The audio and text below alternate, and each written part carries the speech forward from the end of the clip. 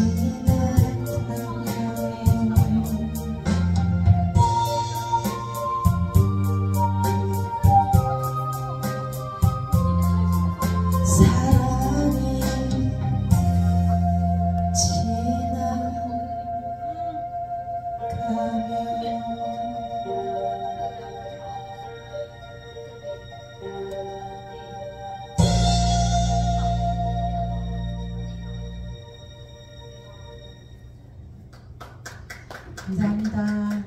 안녕하세요. 가수 김대리입니다. 즐거운 시간 되십시오. 첫 곡으로 전해드린 곡은 이문세 씨의 노래인데요.